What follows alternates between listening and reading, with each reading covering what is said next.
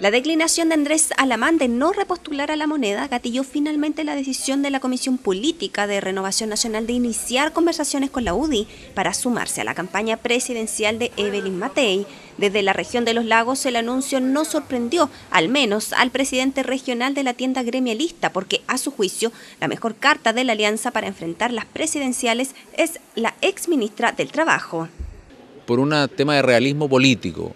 eh, yo entiendo que el único candidato de verdad real que Renovación podía presentar era Andrés Alamán.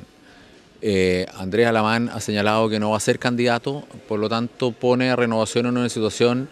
que eh, lo obliga de alguna manera a, negociar con la UDI y en ese sentido creo que vamos a llegar a un acuerdo y Evelyn Matei es la candidata de la alianza de todas maneras. Feliz porque eh, no solo porque sea la candidata de la UDI, sino porque creo que Evelyn Matei hoy día, en el actual escenario, es la mejor carta de la alianza, es la carta más competitiva, es la que abre las expectativas y posibilidad de, que, eh, de ganar la elección de noviembre. Si es la mejor candidata de la alianza, entonces es también la mejor opción del partido de la estrella multicolor, dice Recondo, asegurando de paso que Matei le dará plenas garantías a los dos partidos para llevar una plantilla parlamentaria igualitaria. Y en esta línea, ¿qué pasará con sus intenciones de postular al Senado? El 17 de agosto se cierra este plazo.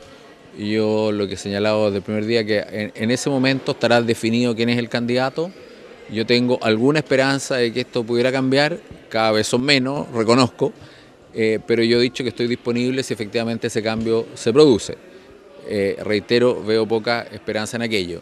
y voy a trabajar por Evelyn Matei de todas maneras. Una banderada que requiere de un parlamento oficialista y de ahí la importancia de revisar la plantilla en aquellos distritos y circunscripciones donde no hay dupla en competencia, porque es ahí, asegura Recondo, donde las posibilidades de doblaje son mayores. ERN aún necesita definir el programa que se adoptará y los contenidos centrales del mismo antes de proclamar a Matei, algo que no preocupa a Recondo porque dice es cuestión de días.